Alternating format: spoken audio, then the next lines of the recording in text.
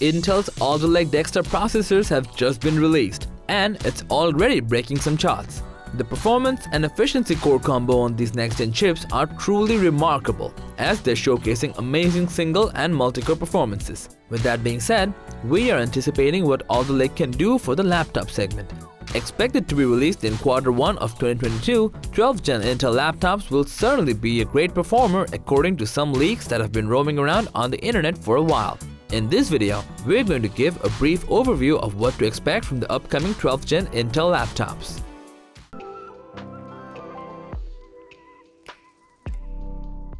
As per the leaked specification of the i9-12900HK on WCCF Tech, it seems like the efficiency core has also made its way to the laptop segment as well. We can see this processor having 14 cores and 20 threads, further improving performance on the laptop arena. We would also like to highlight the leaked Geekbench results of the i9-12900HK that were tested by WCCF Tech as well. Here we can see the processor performing significantly well in comparison to some top-tier AMD and Apple mobile chips such as the M1 Max and Ryzen 5980X. Multi-core performance is also top-notch as the 12th Gen i9 mobile processor has secured its place up high with a score of 13,256, followed by M1 Max with 12,753 and 5980HX with 8,217 Geekbench 5 score. On another leak from 9550 Pro over on Twitter, we get to see the probable Alder Lake mobile processors that will make their way to the 12th gen Intel laptops. On this leak, we get to see 4 low-power chips that might be available on standard laptops.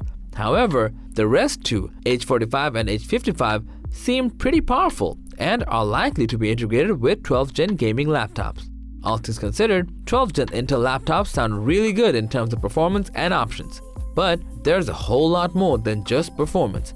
12 brings along brand new RAM compatibility and a faster storage interface. Presumably, these perks will also make their way onto the mobility side. Although there is no official confirmation from Intel yet, we are expecting the next-gen Intel laptops to be revealed in the CES 2022, which is in January next year. We will be back again with more 12-gen laptop updates once they hit the market. So that was all about the upcoming 12th gen Intel laptops. Thanks for watching. If you found the video helpful, please give it a thumbs up, share it with your friends, and comment below to let us know your thoughts.